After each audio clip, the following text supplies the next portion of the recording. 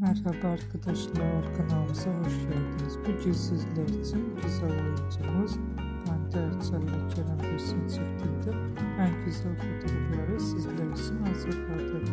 Hande Erçel ve Kerem Bürsin çifti Sancal Kapama dizisinde yol almış ve sevgili olmuşlar. Ve bu dizi bittikten sonra yollarını ayrılmışlar. De sizler için onların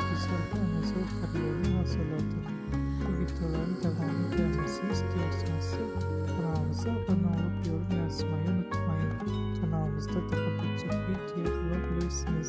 Siz de beni kabul edin. Herkese teşekkür ederiz.